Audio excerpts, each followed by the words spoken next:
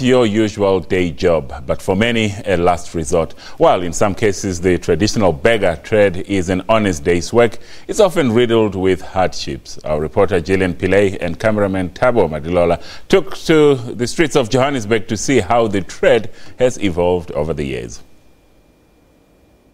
You'll spot them at many intersections. For some motorists, the impromptu entertainment a welcomed relief, but for others, it's more of an annoyance a different form of hustling. A talent that's come in handy. One they're putting to good use. With few choices, it's a means for survival. We are doing this dancing for our families because circumstances are not the same. We use the monies to buy clothes, and the money we make is between 1,000 and 2,000 rand. I don't think their talent is displayed properly yeah, they need to be in a theatre or something. Maybe on South Africa's Got Talent. It's part of hustling, but banalo oxfata traffic sometimes, you know. A little distance away, the plush suburb of Sandton.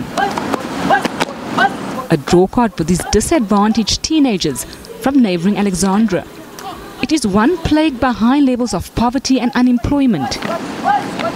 Fatuani Ramaligela is a familiar presence here. In 2011, he lost his job due to alcoholism. Ramaligela resorted to these antics to get motorists to throw him a lifeline. Since people back home know I'm HIV positive, they no longer treat me the same. That's how I ended up on the streets. Here, no one judges me. It's not always colorful performances that greet motorists.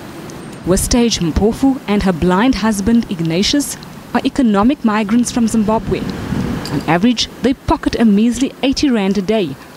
For the couple, this is a more lucrative alternative than returning home.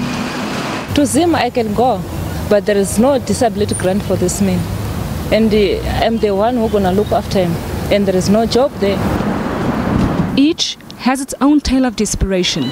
So next time you pull up at an intersection, spare a thought for those needing a helping hand. There is more to their story than meets the eye. Gillian Pillay, SABC News, Johannesburg.